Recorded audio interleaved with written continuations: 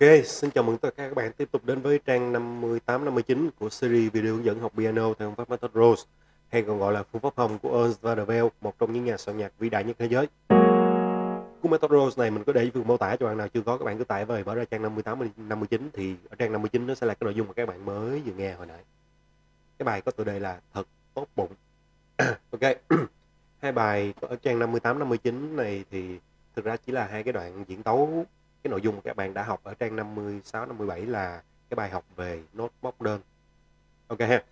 Hai cái bài này thì cái giai điệu nó cũng tương đối là dễ thương và nó rất là phù hợp với các bạn nữ uh, ngồi thả dáng đờn vài nốt thì những cái bài này nó sẽ rất là đẹp đối với các bạn khi mà tưởng tượng tới cái khung cảnh đó ha. Rồi.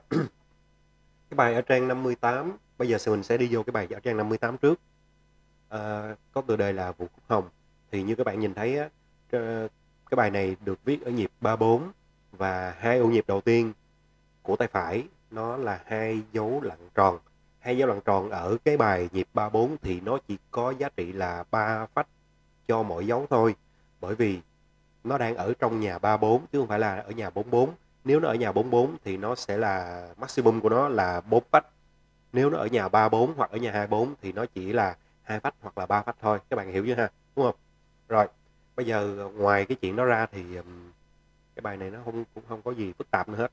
Có hai ở phía dòng nhạc trên có hai ô nhịp được tô màu khác. Dòng nhạc phía dưới cũng có hai ô nhịp được tô màu khác. Đó là hai ô các bạn cần phải lưu ý khi mà các bạn tập cái tay trái.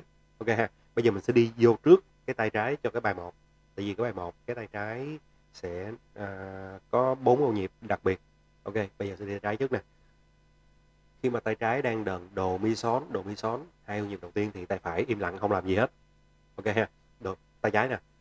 Đồ mi son đồ mi son đồ mi son si ngón út si si ngón trỏ, phá, ngón cái son rồi tiếp.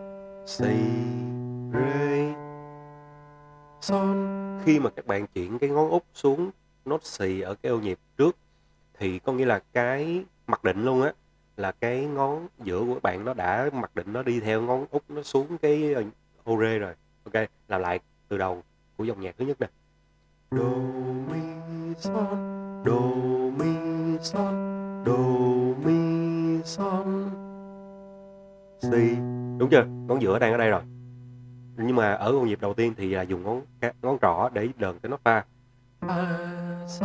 ô thứ hai.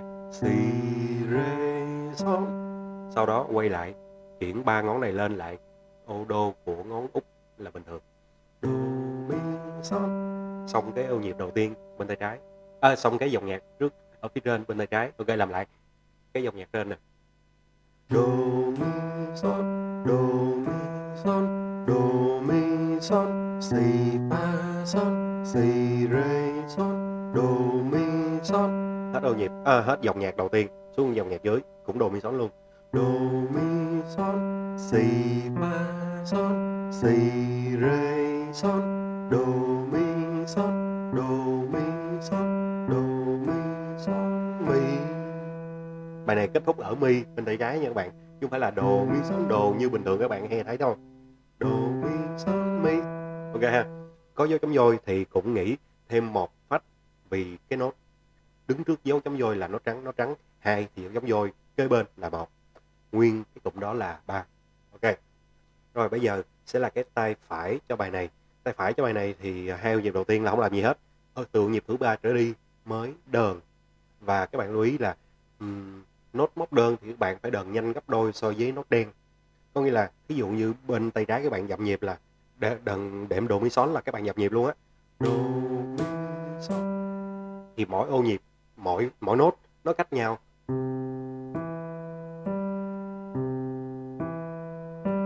Thì cái nốt móc đơn các bạn đừng các bạn phải đờn nhanh gấp đôi cái độ dài cái trường độ mà các bạn mới vừa đờn. Có nghĩa là ví dụ như cái nốt đen là vậy. Thì nốt móc đôi phải là móc móc đơn phải là. Ok chưa rồi, bây giờ mình sẽ ngồi đếm bên tay phải trước rồi vô cái ô nhịp thứ ba. 1 hai ba. Một hai ba.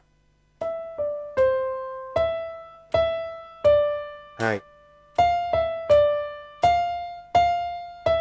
Hai. Hai.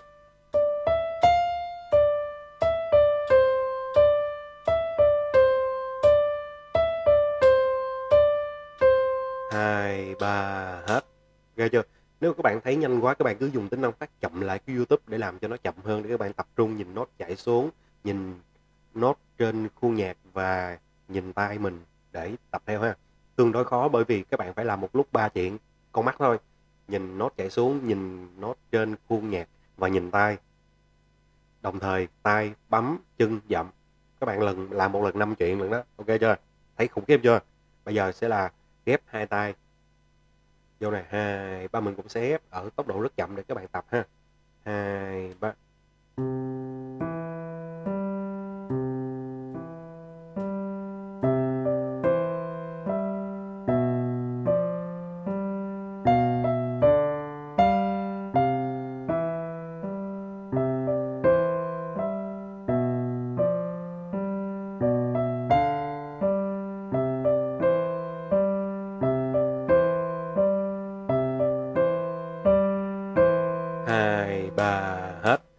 Cái ô cuối các bạn lưu ý, nhớ là cái ngón giữa nó phải là nốt mi và nó là kết thúc, chứ không phải là đồ mi son đồ như bình thường, mà phải là đồ mi son mi. Ok chưa? Rồi. Chúc các bạn tập bài này thành công. Bây giờ mình sẽ qua cái bài ở trang 59 bài trang 59 thì nó dài hơn. Và ngay đầu tiên thì các bạn vừa vô, các bạn cũng thấy là nó được viết ở nhịp 34 và nó có khá là nhiều nốt móc đơn, đúng chưa? À, và nó có thêm cái chữ phim và chữ DC nữa. Chữ phim và DC mình nói nhiều lần rồi. Khi mà đờn gặp chữ phim thì cứ kệ cha nó đi qua luôn. Sau khi qua cái chữ phim rồi đờn tiếp tiếp tiếp tiếp, tiếp khi mà thấy ở đâu có chữ DC thì mình sẽ quay lại từ đầu. Mình đờn tới khi gặp chữ phim lần thứ hai thì cái lúc đó là lúc kết thúc bài. Ok chưa? Rồi bây giờ sẽ có một cái lưu ý nữa là các bạn nhìn thấy ở cái đoạn à, phía dưới nửa bài sau nó sẽ có cái dấu thăng ở nốt pha ở trong bốn ô nhịp. Ok chưa? Thì những nốt pha mà được thăng lên đó là cái mình gọi dấu thăng là dấu thăng bất thường. Dấu thăng bất thường thì các bạn chỉ áp dụng cái dấu thăng đó cho nốt pha trong cái ô nhịp đó thôi. Thí dụ như cái ô nhịp ờ, đầu tiên mà có pha thăng ở phía trên các bạn nhìn thấy là pha thăng đúng chưa? À, và tự nhiên cái ô nhịp ở cái dòng nhạc tiếp theo ở phía dưới tác giả cũng thêm dấu thăng ở nốt pha chi ở trên đã uh, có dấu thăng rồi tự nhiên ở dưới thêm chi nữa. Vấn đề là tại vì cái dấu thăng nó chỉ có tác dụng dấu thăng bất thường này nó chỉ có tác dụng trong một ô nhịp thôi. Xuống dưới dòng nhạc phía dưới là qua ô nhịp khác rồi cho nên là dấu thăng ở ô nhịp khác này phải được thêm vô chứ không cái dấu thăng ở phía trên nó không có tác dụng xuống cái ô nhịp phía dưới này đâu nha. Rồi tương tự như vậy ở ba ô gần kết bài gần chữ DC á, thì nó cũng có hai dấu thăng cho nó pha ở hai ô nhịp.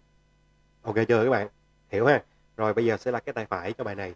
Mình cũng sẽ chia cái bài này ra làm hai lần ha hai phần. Và mỗi phần vậy có hai tay mình sẽ mình sẽ hướng dẫn mỗi tay một lần để các bạn tập trung. Ok chưa? Bây giờ sẽ là cái phần 1 phần đầu của bài số 2 nè tay phải.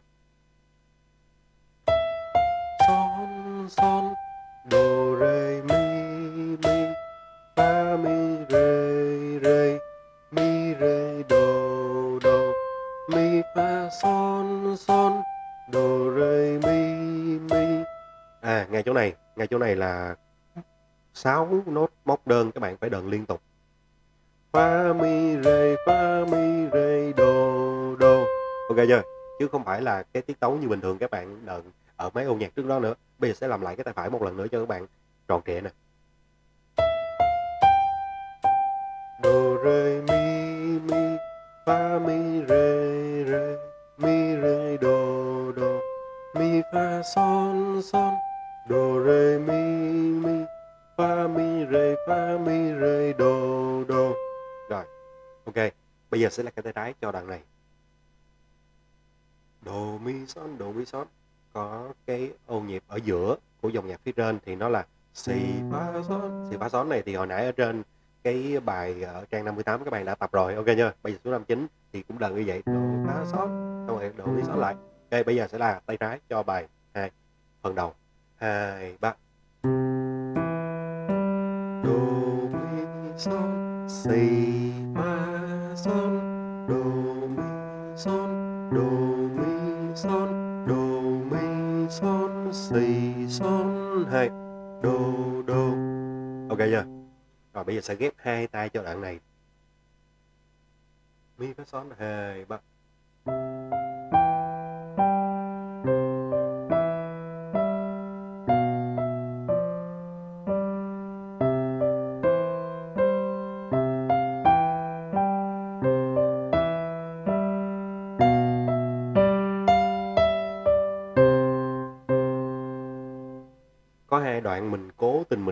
chậm lại để cho các bạn tập đó nha, chứ không phải là mình mình cố tình đần chậm vì mình thích đâu nha.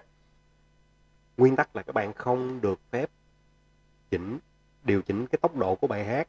Nếu như tác giả không yêu cầu mình điều chỉnh là bởi vì mình muốn cho các bạn tập trung nhìn vô ngay chỗ đó các bạn nghe và tập trung vô ngay đó, chứ không phải là mình mình thích thì mình chỉnh đâu nha.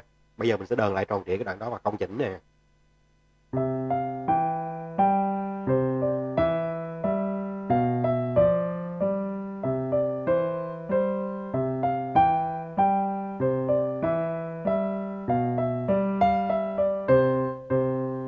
Rồi, ok chưa? Tròn trịa cái đoạn trên là nó như vậy. Bây giờ sẽ đoạn tiếp theo. Cũng là tay phải trước nè. Tay phải thì các bạn sẽ không có thay đổi vị trí. Tay phải nó cũng chỉ ở vị trí này thôi. Tuy nhiên, lưu ý rằng không có đờn nốt pha thường ở cái ô nhịp mà có dấu pha thăng mà phải đờn dấu nốt pha thăng. Không được đờn pha thường. Ở cái ô mà nốt thăng được thăng lên. À, dấu nốt pha được thăng lên. Ok chưa? Rồi, bây giờ sẽ là cái tay trái nè rê mi rê rê. Nè bây giờ vô cái ô nhịp mà nốt pha bị thăng lên nè. Mi fa mi fa mi mi. Làm lại.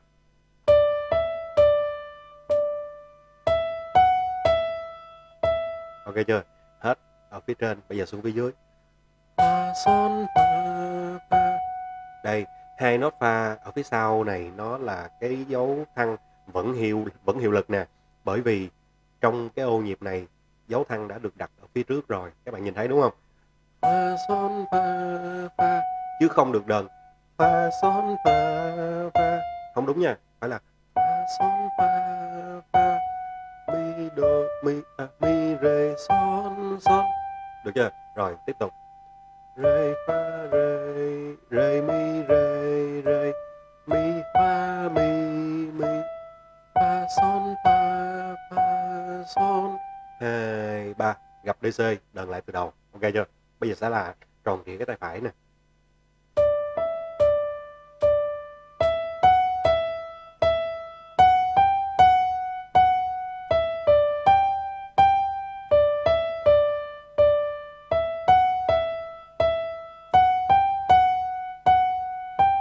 Hai ba, gặp DC đờn lại từ đầu tới khi nào gặp chữ phim là hết. Bây giờ sẽ là cái tay trái. Tay trái thì khi mà các bạn đang sau khi đợn xong cái đô đô ô nhịp trước đó, ô nhịp mà bị tô mờ rồi đó thì các bạn sẽ chuyển ngón tay ở trong cái dấu lặng đen. Thì các bạn sẽ chuyển tay xuống phía dưới này sao cho cái ngón giữa nó nằm ở vị trí của nốt C. Để tiếp tục đợn cái nốt C bằng ngón giữa ở cái ô nhịp. Chuẩn bị đợn nè. C nè hai ba si hai bạc đô hai bạc rê hai bạc son hai son hai ngân. Thôi, son mình mình, son ngân ngân đi ha, son ngưng ngưng chứ. Tại vì cái này là dấu lặng dấu lặng là ngưng chứ không phải là ngân. Làm lại từ đầu nè, làm lại từ khúc trên nè. Si hai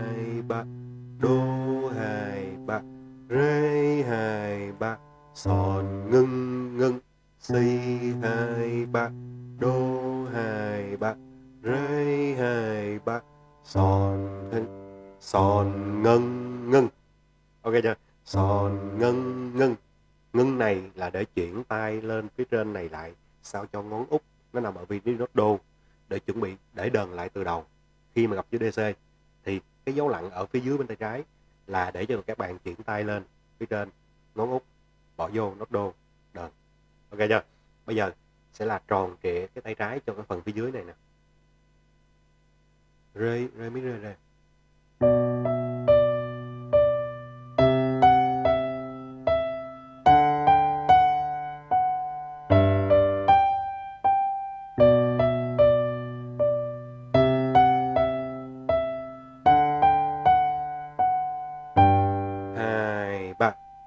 chưa gặp DC đần lại từ đầu.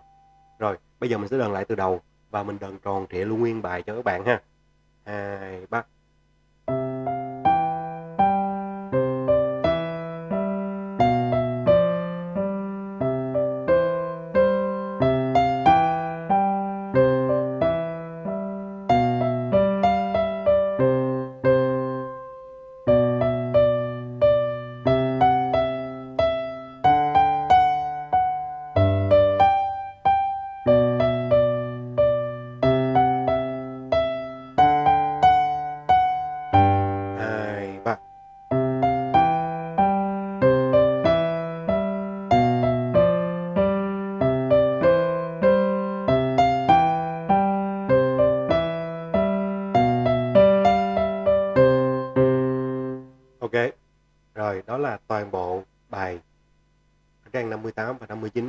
Series video hướng dẫn học piano theo pháp peter Rose.